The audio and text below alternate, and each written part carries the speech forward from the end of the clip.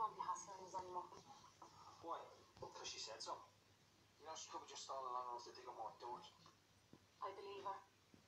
Why? If she puts a foot wrong, she ends up in prison herself. She didn't drop the story because she might go to jail. She did it for me. It wasn't threats stopped her. She thinks we may still have a chance together.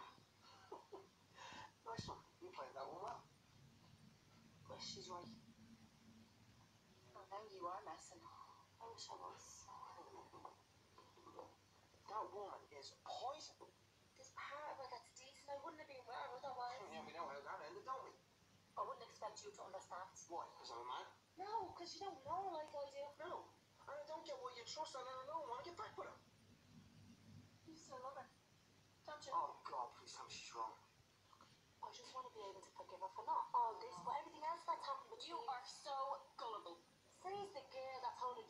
she killed her dad? Yeah, she tricked me, just like she's tricking you.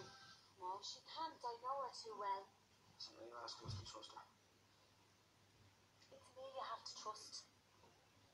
If she keeps her word, then I have to forgive her. Where is that going to lead? Trouble. That's for me to find out.